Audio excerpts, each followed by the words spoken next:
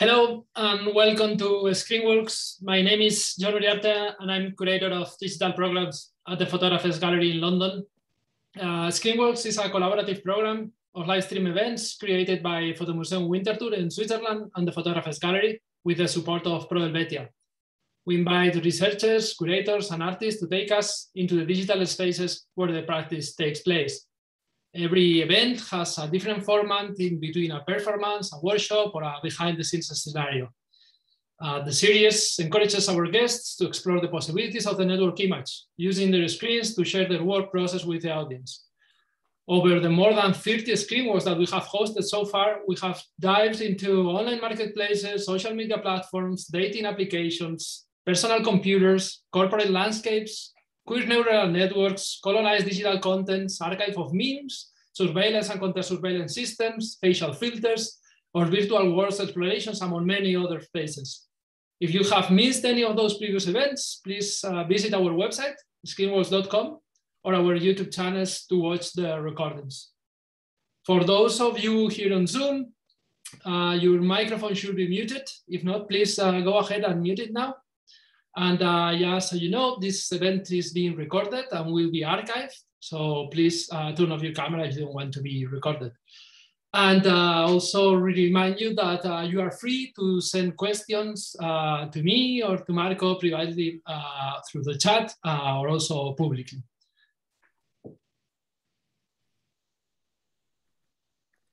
And hello also from my side. I'm Marco De Mutiis, digital curator at Fotomuseum Winterthur in Switzerland. On today's screen walk, we will travel across the planet through an experience that connects nature and technology, digital infrastructures and image platforms, extinction and observation. Bringing together different softwares and networked images, Marc Lee will show the fragile nature, um, the fragile natural ecosystem of the Earth, and how it is simultaneously cared for and harmed by the human population. The artist will present his artistic practice and his latest project, Used to Be My Home Too, in which he connects the contents of three different online platforms, appropriating them and repurposing their original goals. Putting together photographs of living creatures uploaded by citizen nat naturalists, a list of extinct and endangered species created by an international institution, and a 3D rendered global map marketed by a corporation the work takes advantage of the rich and diverse network possibilities of digital materials. Lee's practice often works with online spaces of representation and communication, juxtaposing and combining different voices and positions in real time, which in turn give a picture of specific global network cultures. Taking the audience behind the scenes of Used to Be My Home Too, the artist will also explore the original online spaces and softwares where the images and content is uploaded and shared. He will also show how he connects these websites to explore the rich diversity of the planet while revealing the serious threat that human beings pose to it. Marc Lee is a Swiss artist. He focuses on real-time processed, computer-programmed audio-visual installations, AR, VR, and mobile apps. He reflects critically and creatively on cultural, social, ecological, and political aspects. His work has been shown in major museums and new media art exhibitions, including ZKM Karlsruhe, New Museum New York, MMCA in Seoul, Transmediale Berlin, Ars Electronica in Linz, and many others. Dear Marc, thanks so much for being with us today. The screen is yours. Thank you, Jon and Marco, for this uh, invitation and giving me the opportunity to join and yeah, contribute to this wonderful uh, Screen Walks projects. I saw a few replies and uh, sorry, uh, replays, and they were really inspiring. Yeah, and everybody, thank you for joining us. So uh, I will uh, start the screen.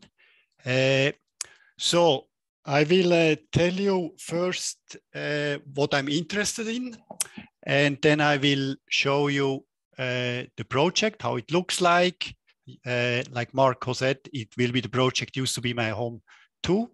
And uh, I will show the sources which are be used. These three platforms, we have a close look at them. And I, I uh, show you through some background information of these platforms. And also I try to uh, explain you how the software works. So we look in kind of some APIs and uh, I show you a few code samples. And uh, yeah, that's the schedule more or less. Uh, in the end, when we have time, I could maybe also show another project or depending, depending on the questions, uh, I will, uh, yeah, uh, show something else as well. So uh, this is the, the uh, website. Uh, we collect our projects. some projects or many projects I've done in collaboration, for example, Unfiltered TikTok Emerging Face of Culture is a, a collaboration with Akshat Neural, curator and artist from, uh, from India. Or uh, we also made uh, VR and AR works, which were done in collaboration with the KIT in Karlsruhe, Technical University in Karlsruhe. Mainly students made the bachelor and master uh, uh, program and made the, the help with the software. Uh, or I collaborated with Markus Kirchhofer. He's a literature. We made a work a mobile app about uh, animal extinction, uh, animal extinction and homogenization.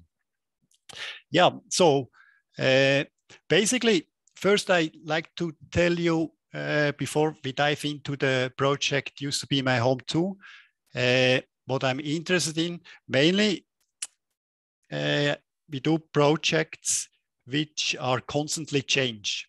So different than uh, photography or video, uh, which which kind of uh, do not change. I mean, videos change, but they when you play it again, it will be the same.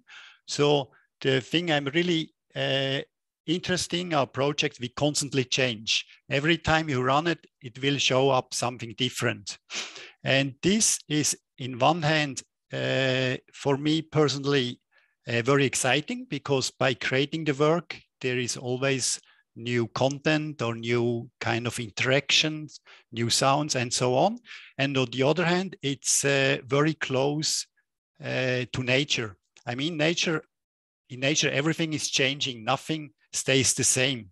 But we human being, we tend to keep, store things, making photos, making memories. Uh, but this is not a natural process because, uh, yeah, you know, nature is it's never the same.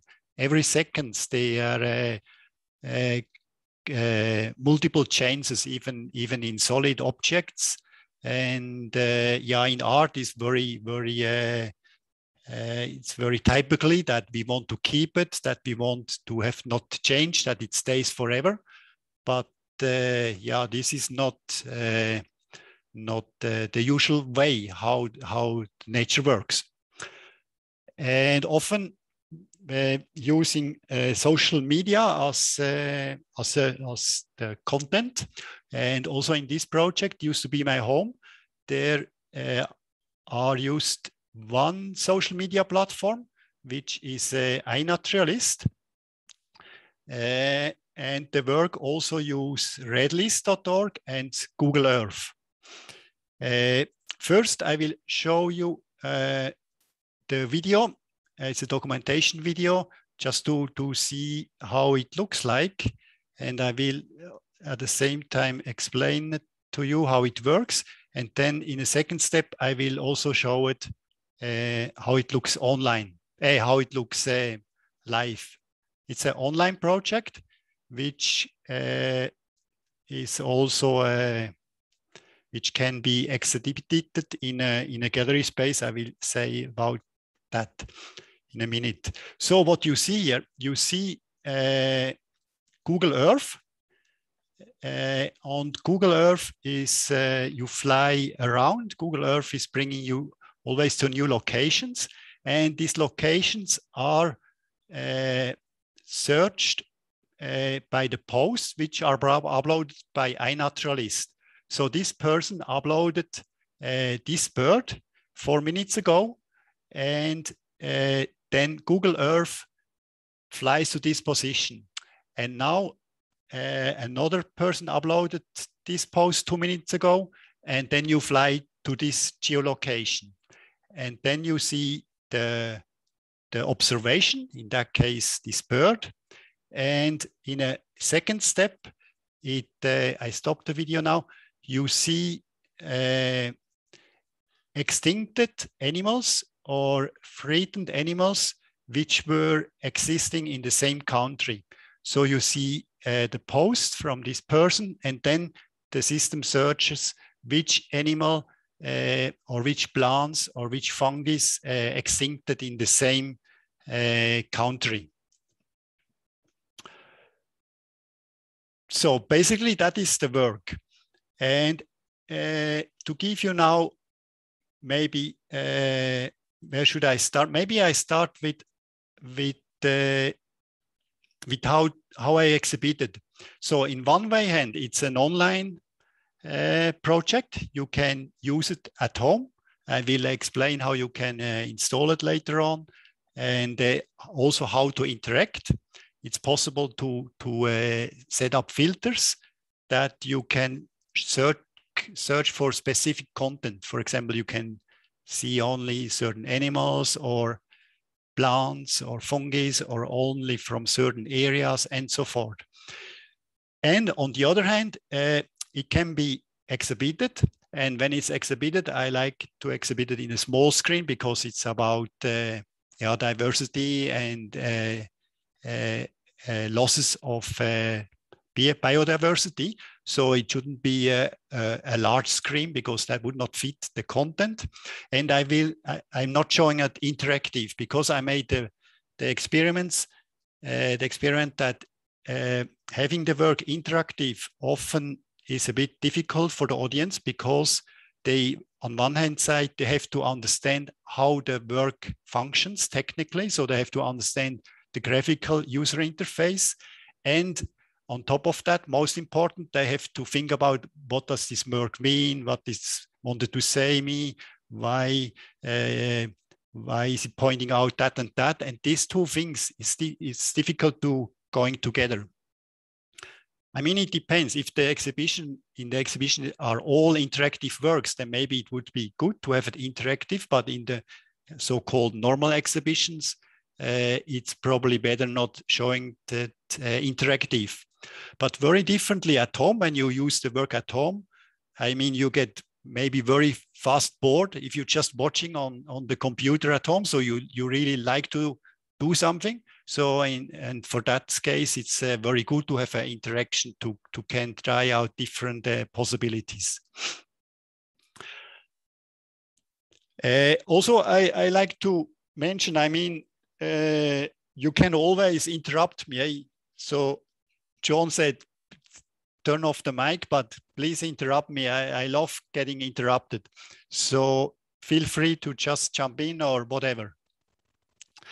But I have a structure and the structure is now I will uh, in, uh, go through the different uh, network which are used, uh, which is iNaturalist, RedList, and Google Earth.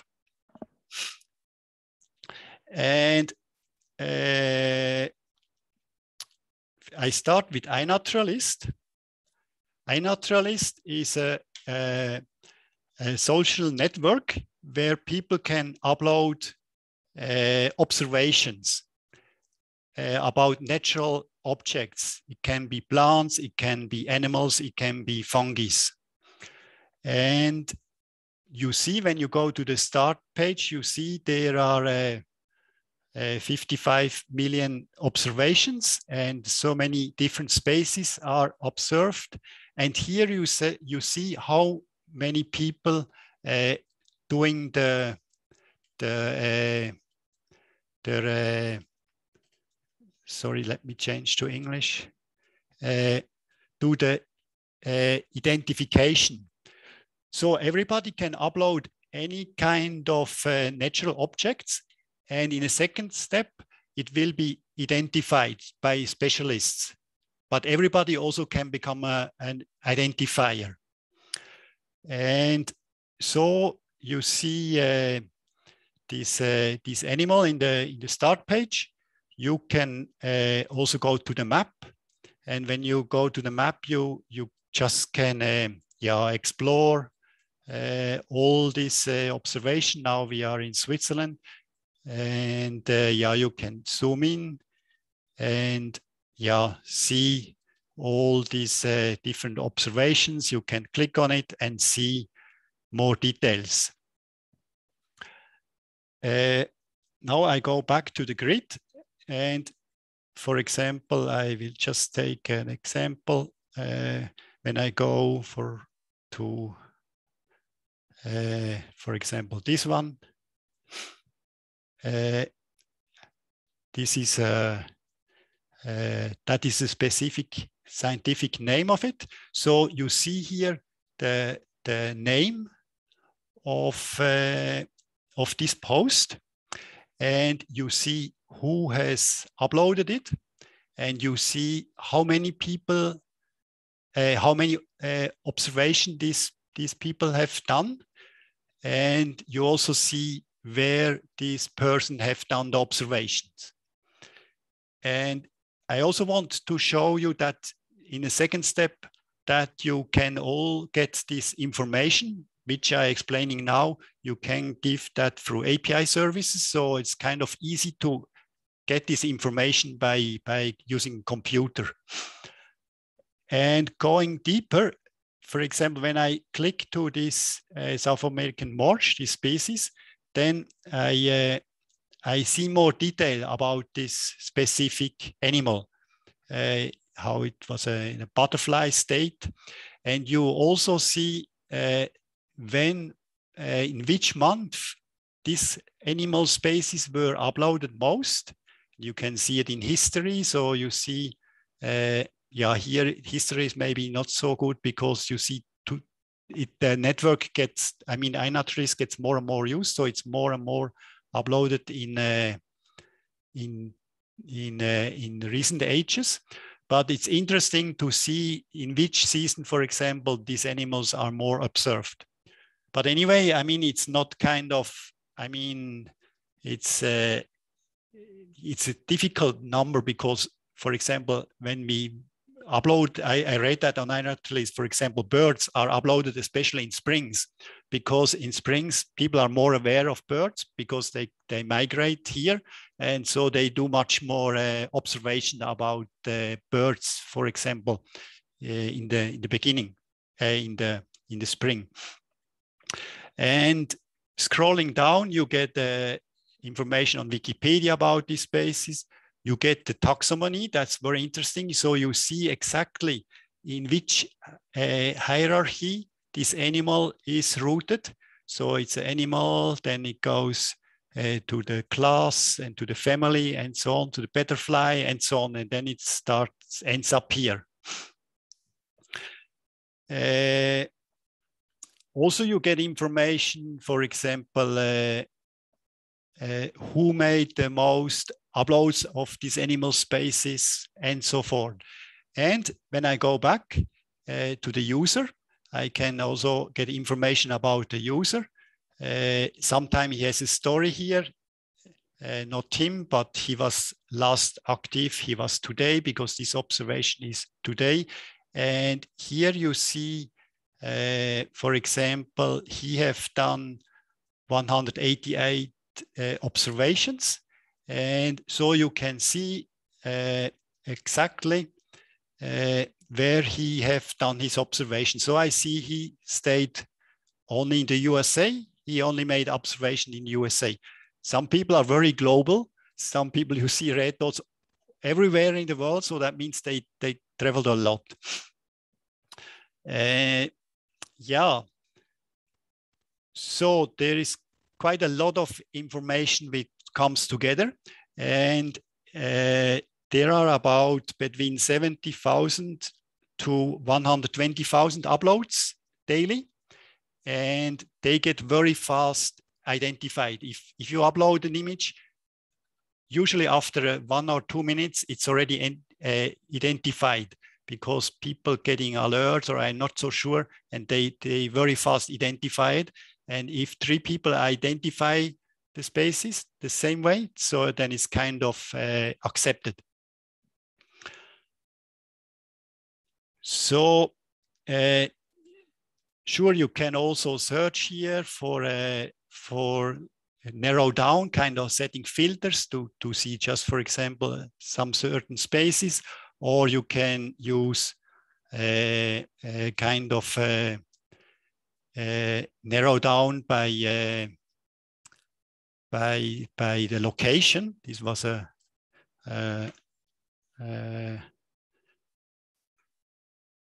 didn't show me any results. Oh, I have a, a, a, filter here. Okay, because I had the spaces already. Uh, uh, let's London, let's try this. London. Uh, so I see in London there are not so many observations, just 362 and so many different spaces. Uh, what else I can do? I can go here to filters and now here in the filter, I can, uh, that's very interesting. And these filters also I use for, uh, used to be my home too. So for example, I can say, I only want to see birds. Or I can see, say, I want to, to have uh, insects, for example, and fungi. Also, I can say uh, maybe I want to have them only in a certain time period uh, you can sort them by ranking, uh, by photo licensing, by uh, you can filter that then by person uh, or by places. I already mentioned that. And you can get a very specific uh, content. Uh, yeah, depending on your filters you need. And also here you can say, for example, it has sounds. Also, some people upload sounds, or usually it has photos, but you can specifically add that. And then, uh, yeah, you get, of course, more filter, as you said, then uh, as less result you get. So uh, when I specify that, then I uh, get less uh, observations. Also interesting is, uh, I just explored that today, some people upload humans. Uh, let me see. Who? Okay. And uh, uh, there is still the filter set sorry. Uh, so, uh, and I very much like that because humans are also uh they are uh, ranked under animals. Oh, I see now why it's not why it's not working. I, I uh, interestingly, I now I entered human and I get zero observations. And then I go to filter and I see the standard uh, verified, it's always on. But if I deactivate that and update the search, uh, I see there are uh, uh, eight, uh, 86,000 uh, human beings and I, I see them here. And yeah, these are these mobile phones are not so nice, but the the the photos actually are very different. These humans here are very different than on Instagram, for example. These humans they kind of uh, look more like uh, how can I say like like in in daily life, kind of not so much showing up, and uh, yeah, when I when I click to uh, to any of them, then uh, it's also interesting that uh, just I choose any. Also, I can get some information like I would get it on Animal. And when I, I, search uh, this page where I see only humans on this uh, overview, I see also the taxonomy. So we are in the kingdom of animals, uh, uh, mammals, uh, monkeys, uh, African apes. And I mean, this is a scientific specification. And I mean, this, this tells a lot. Eh? We scientifically, we are, yeah, the same as animals and uh, yeah, we often forget that. So this is iNaturalist, and uh, you see it's a very diverse platform, and you see how people really care about nature because there's so many observation daily and so many identifier. That means there is a, a huge interest about uh, the biodiversity we have. And the other network which is used is the, the Red List. And the Red List, it's an international organization uh, about uh, International Union for Cons Conservation of Nature and Natural Resources. And this is the, the list, the biggest list about uh, animal plants and fungi, which are, uh, they register all this, uh, all uh, as much as possible, they, they classify these uh, natural objects and uh, give them taxonomies. And it's a huge archive. So for example, when I, I choose a butterfly, uh, then I, I see these specific spaces and I see also on a map where it, uh, where it mainly exists. And I see, uh, can put here, uh, expand all. So I get so much information about each, each spaces. I see, uh, for example, these have the, the tag hits uh, endangered. They, I will show they have different kind of taxonomy. Uh, extincted is it's really gone. Extincted in the wild, it only exists in the wild.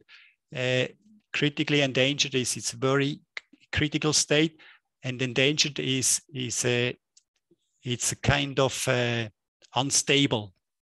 I would easily say. So, and you get here uh, the specific information why it's endangered. You get uh, yeah, the geographical range, you see uh, the population of these species, you see the terrestrial, uh, the habitats of this, uh, uh you get uh, the, the, the, the, fruits, why have it this uh, label of extinction. So you get so much information about these animals uh, sorry, not animals, about these uh, animal plants and fungi. And also this information you can access by uh, API. When I go here to advanced, you can see the taxonomy. So for example, you can narrow down to fungi. Then you see only the fungi. Fungi actually often get forget.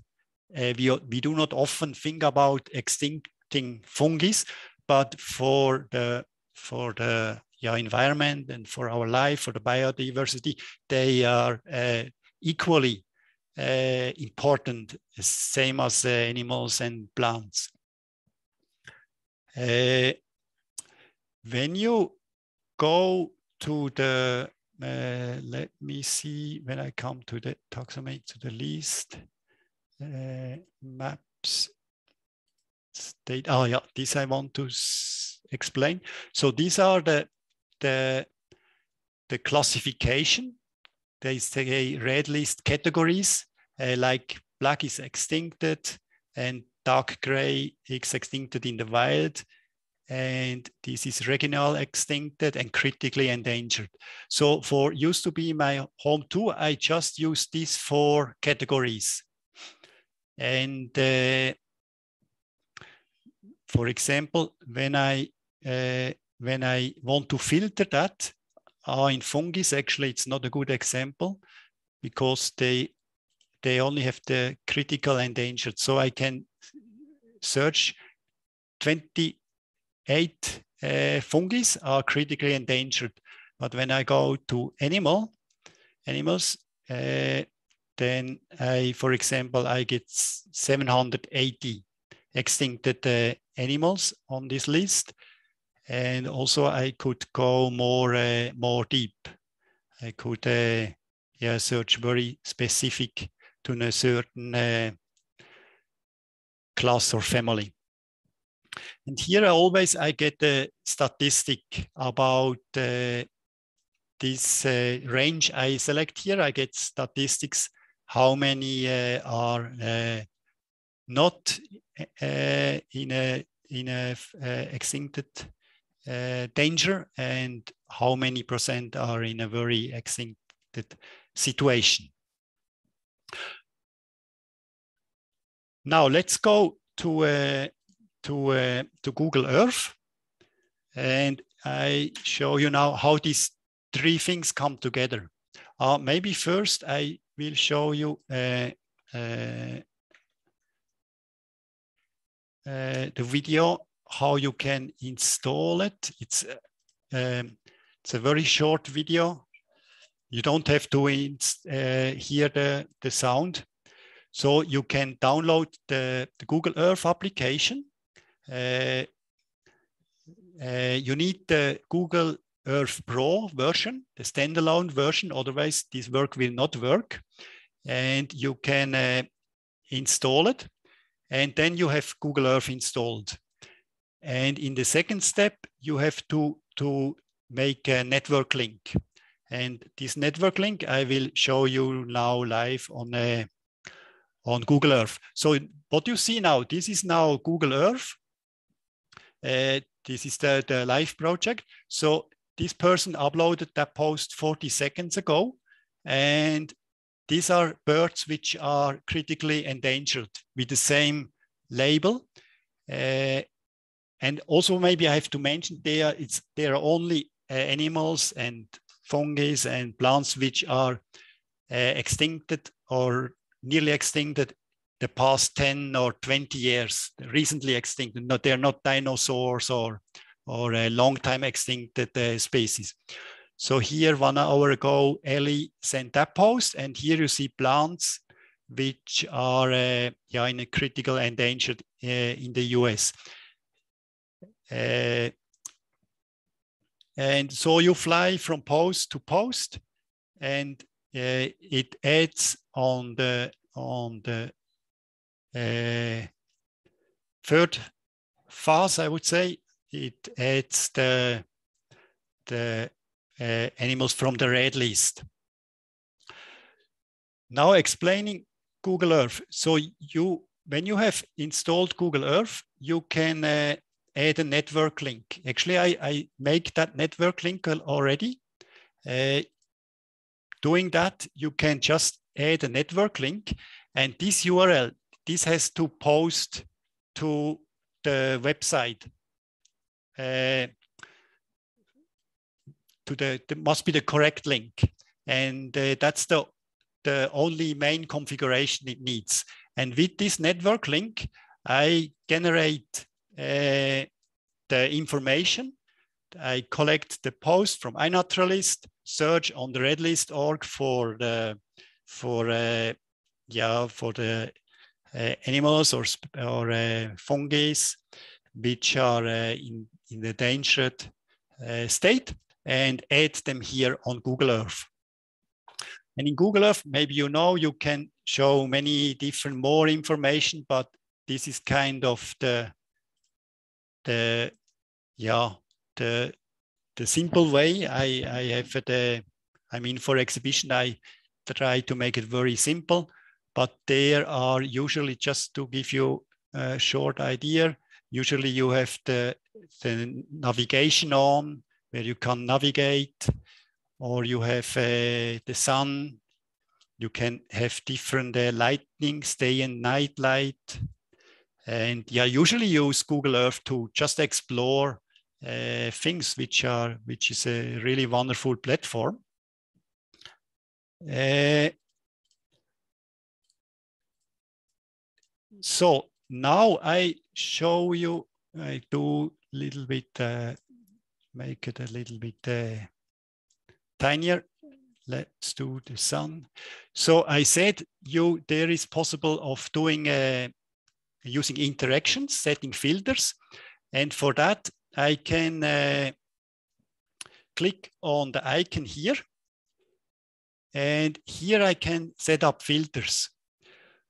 Uh, there are kind of already customized filters. For example, you can search uh, observation only in dense populated cities or just get observation in the Arctic and uh, or insects in Shibuya or birds in New Guinea and so on. And it, it explains here on the video. And I will show you how this works. Uh, it's actually super simple. You have to go to iNaturalist and you can uh, set a filter. Maybe I do it here. I say, for example, I want to have uh, maybe only insects and birds and, and uh, uh, amphi rep, reptiles, sorry. And now I can say the location, let's say,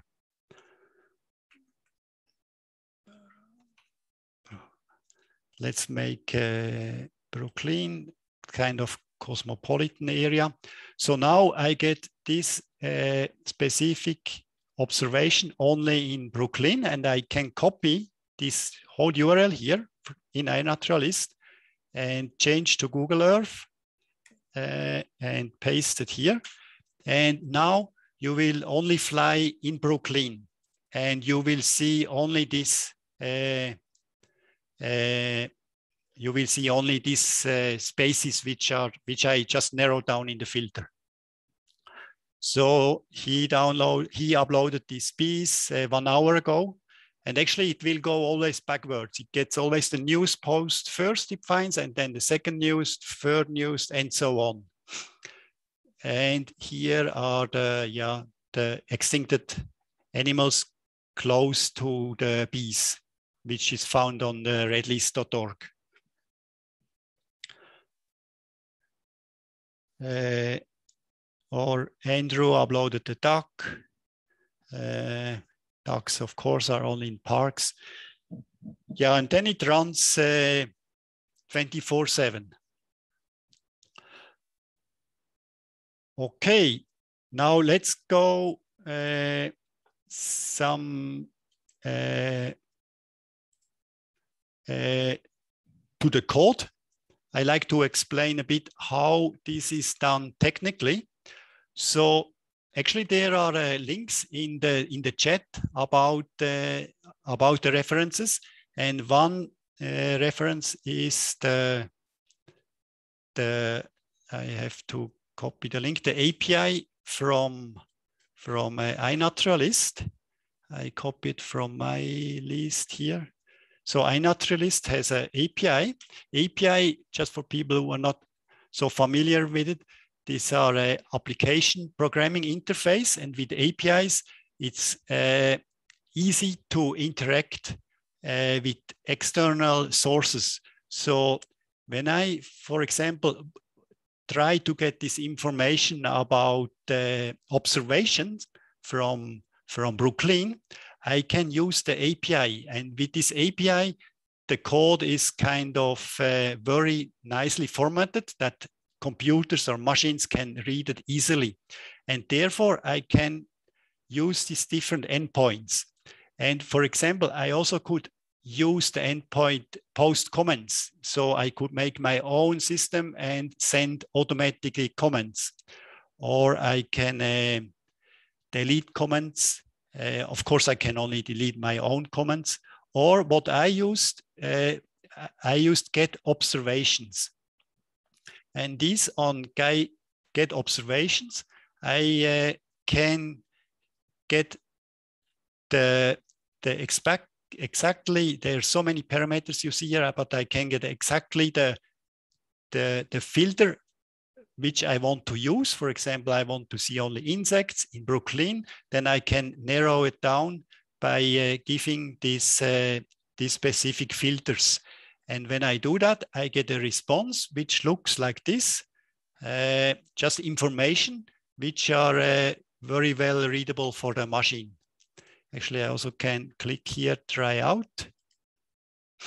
And this would give me a, a sample uh, yeah, response.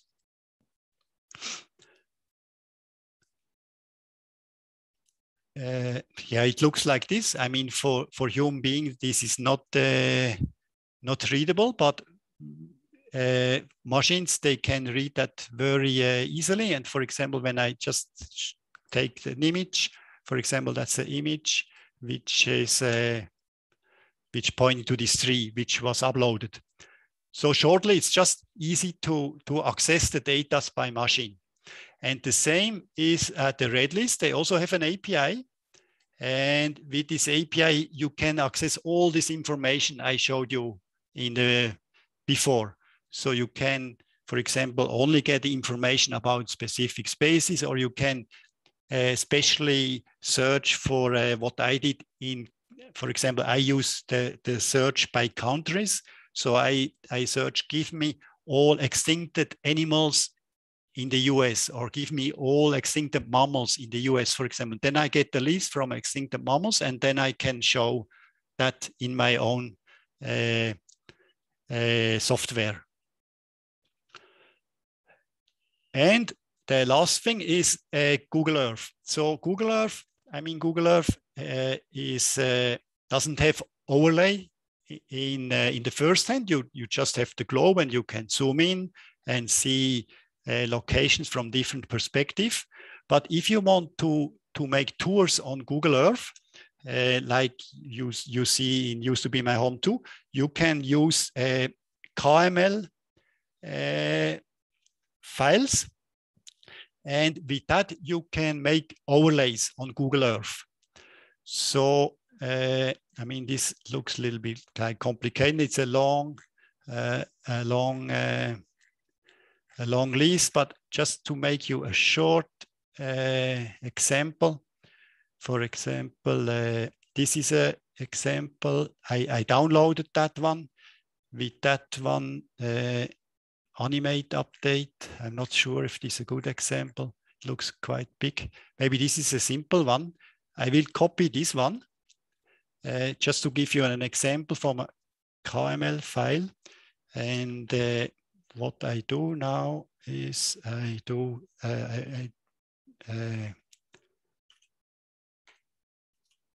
uh, let me do like this. I will copy this code to a, to a file and save it on my desktop. And title doesn't matter. Uh, I call fly KML. I think the the, the file extension is important, but not so sure about that. And I save that. And when I go, actually I close Google Earth, when I open now Google Earth again, and uh, I go to my desktop, this is the file uh, I just made and make that a bit smaller. And I can just drop that here. And now you see the it's already rotating. And what it does, it makes that point here and I can click and I get a balloon style. I mean, it's just a very simple uh, example to, to uh, show how you can uh, do uh, overlays on, uh, on Google Earth. And yes, of course, here it's a bit more uh, how can I say, it's more complex because they are, you can also use JavaScript. So I, I load this post and on the fly, I load by JavaScript additional information. And basically there are three steps. I load a, a, a post in a small format. Then the second step is the I, I show the whole post bigger. And the third step is it stays silent. Now it stays silent for six seconds and show this overlay from red list. And then it start again. It goes to the next post.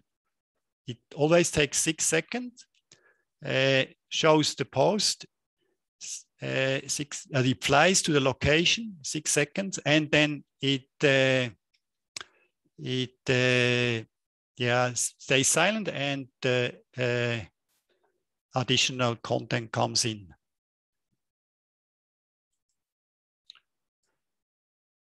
Okay, uh, that was that. Uh, let me see that's not used.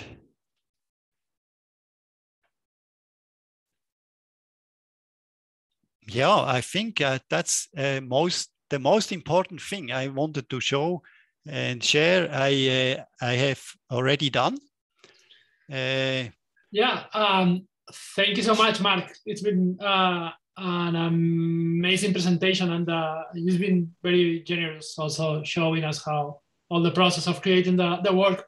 In fact, while when I first want to remind everyone that you are free to use the chat to, to send any any question. But meanwhile, I do have one question first that I wanted to, to, to ask you. Uh, on iNaturalist, you talked about these identifiers, these people who like uh, has um, are the ones who, who decide uh, if a, photo of an animal has like the right is verified or not. How is that people chosen? How who are those people? Who who can you become? How can you become an, an identifier? What what's that process? Uh, you you everybody can be an identifier. Mm -hmm. So mm-hmm. there is there is no restriction. But I'm sure uh, if you have done a few strange thing, you probably will be uh, kicked out. I mean, it's the same as Wikipedia. You everybody can write, and uh, but uh, it's kind of self-organized. If uh, yeah, if you do harm to the system, you you probably will be kicked out. I uh -huh. never tried. and uh, but uh, does it have to be like approved by? I mean, just with one approval, that's like verified, or has to be approved by different people, or what's what's the process for that? Uh, so you, for using iNaturalist, you can uh, download the app. Actually, mm -hmm. you can only upload using the API or the app. You cannot do it over the website, and then you can uh, upload the post and then identifiers, they get kind of notified because you can set up alerts and they can immediately respond and say, okay, that is this and this and this. Or also they can say, oh, it's not so sure. It could be that or that. Sometimes it's maybe not clear. And then every everything is visible on the on the website. For example, he has done uh, uh, so many observations. Uh, he has done uh, yeah, 11,000 observations and almost 8,000 uh, identifications.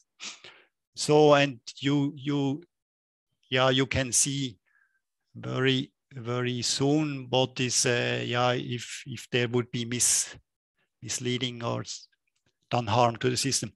Also, it's interesting, many people have a kind of uh, information about themselves. It's also interesting to uh, what people I, post about themselves. I think Jon is planning a career change. Hopefully not. The questions were quite specific about this uh, position.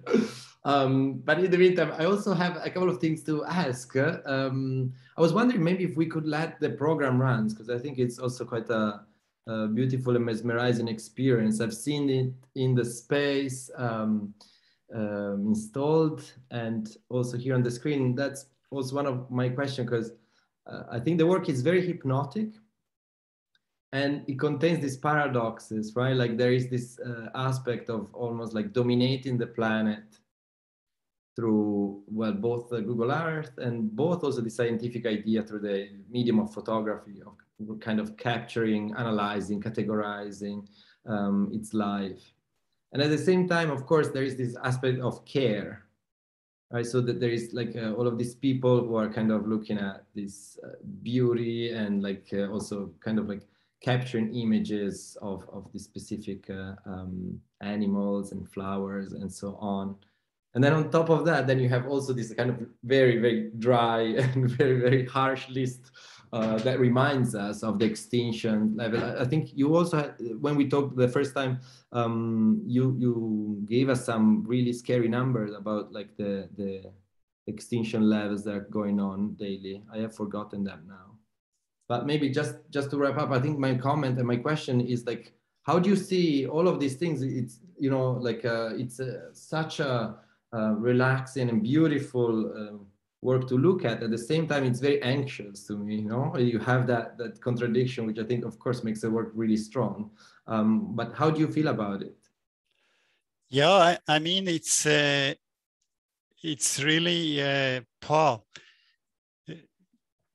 it's on one hand side yeah as you mentioned so you see the very diverse uh, uh, biodiversity we have, and at the same time you see uh, extincted species. And so, how can I point it out easily? So in uh, in one hand side, it's uh, it's a tremendous loss. Eh? So so many species get lost daily, and I, I don't want to say any numbers because it really makes you cry. It's a, it's absolute disaster because the evolution started millions of years ago. And when you see how many uh, animals uh, get extincted daily, and same as plants and fungi, then it's really, uh, yeah, it's a huge loss. And yeah, I, to this, uh, this uh, uh, situation, I just want to express my feelings and so i did this work to just to just show it in a kind of uh, uh, visual way uh, how uh, what's going on. But anyway we we know that that information so well. I mean everybody the, the papers are full of that day about extinction and uh, it's a very difficult situation because it, it, cannot be just stopped. It's not like a coronavirus who could be narrowed down, narrowed down, narrowed down. It's a, something on a very different level. We should be lucky with the coronavirus, much easier to manage. yeah, it's uncomparable. It's like, right. uh, yeah. Um, I also wanted to ask you about this idea. Like, I think it's also super interesting this idea of opening up the experience of the work through a circulation that goes beyond the installation. Maybe this is a bit of a curator um, question, but how do you see also your work in this in, in, these different settings? I think it's really great that you manage to, or like you, you even encourage people to um, download it and create that and create it to be experienced on their own computers in their domestic space. And at the same time, you also have um, something that uh, let's say works in the most more traditional settings of the exhibition space and you've like you've done that also in uh, your your previous works right i'm thinking of the tv bot and uh, maybe i don't know if you want to mention some other works yeah actually it's uh, actually when i i uh, i as I said, we also do often collaboration, do works. I also think always about the exhibition space because that's my background. I have kind of an art background, so I always think about how can it be exhibited in a in an exhibition space. But many projects also I try to make, uh, yeah, uh, online available uh, that people can use it from home. Uh, but it's uh, it's it's like a different work and i always have these two two sides in my mind. That the on one hand to let the people use it at home and on the other hand to be be able to uh, exhibit it. And as i said in the beginning it it's uh, the yeah the interaction is usually kind of tricky in in exhibitions. So Often it does not work well, interactive exhibitions. Some work well if the, the interaction is quite easy, but for that work, it would not be suitable to make it interactive. It's much easier for the participant to just see it and just, uh, yeah, just, just look at it and think about it than doing their own interaction. But uh, yeah, doing online works, I mean, you cannot do, uh, yeah, not interactive online works. I mean, it would be a video, but but uh, I mean, uh, when you can interact, it, it's much more fun. Eh? You you you feel much more engaged with the work when you can can play with it. Um, and going back to, to my question about iNaturalist, uh, it's not only that I, I would like to to to be uh, one of these verifiers and become just like someone who wants uh, who, who, verifies what's uh, an animal or not. Uh, I was really like uh, fascinated uh, about like that moment where you show that people is also um, shooting photos of humans because I'm not sure if the approach is to challenge the platform itself or like challenge this notion of like this separation between humans and, and other living creatures and suddenly like adding those humans into like uh, uh, transform this platform in a more like non-human centered uh, platform uh, of of nature uh, identification or, or, or photography. Uh, and in fact, I was thinking if you will be happy to include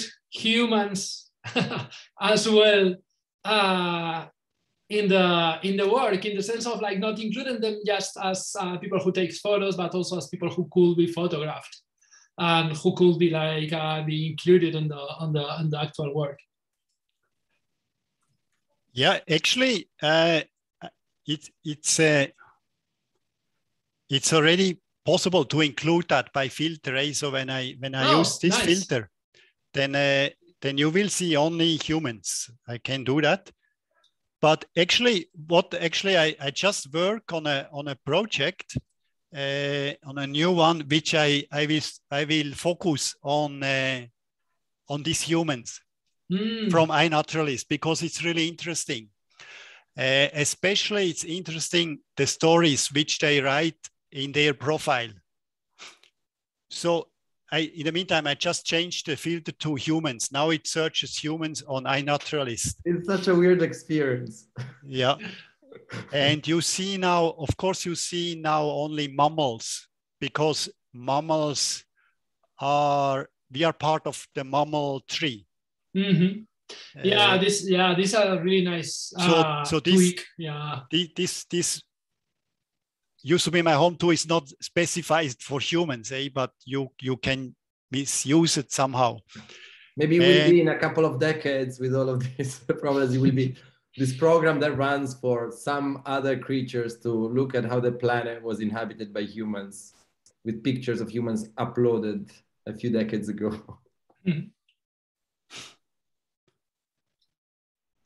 Um, while I don't know if there's uh, any question from the audience that is like uh, uh, watching us, um, because I, I mean, I do, I'm quite happy looking at these nicks because suddenly there's like a, um, a hierarchic re relationship uh, that was uh, uh, showing the work of having the, the humans just as photographers but not as, as uh, another like uh, living creature is, is, is broken with this with this um, change that you just did adding the, the humans in the filters. I, I really like uh, the fact that uh, the work is, I mean, you offer the work as a work that is open to be transformed, uh, that can be like a change that is not only live, but that can be transformed uh, mm-hmm. while using it. It is quite interesting and it's really uh, yeah, well related to, to other projects that uh, we've been uh, sharing on, on Screen Walks. Yeah, also, I also wanted to add, um, you know, that it was great to see this sort of like social media space, very focused on photography that we had no clue about. So this was also a fantastic space to explore with you today uh, during Screenwalk and also like uh, um, i think part of your talk was basically a tutorial and that was really generous of you to really give the instructions and, and show and open up your process so much Um, and I'm sure that the, the audience of the live stream, as well as the recordings, will be um, very grateful for that. And we hope to see more and more artists being inspired and more people doing things um, with this knowledge and with this uh, um, with these ideas. So I think um, unless there is um, someone else that uh, or something else that uh, Jon wants to ask in his uh, job hunt uh, at iNaturalist, um, then I would uh, thank again Marc for your generous time. Um, and also I'm inviting the audience at this point to submit applications for being the next host of Screen Walks, because we're probably gonna need one when Jon goes uh, um, taking pictures of human and uploading them on the platform. and I remind you that we're back in two weeks. Uh, yeah, we will be back in two weeks uh, with Laura Paloma, who will be looking into a very particular uh, kind of uh, Facebook groups uh, that are also some of them related to to animals and and living creatures. So yeah, we hope to to see you again and to meet with you again in two weeks. Uh, but meanwhile, like uh, thank you all, but thank you to all the audience, but thank you especially to to Marc for being so generous, uh, sharing your your work and your work process with us. Yeah, pleasure. Thank you, everybody, for joining.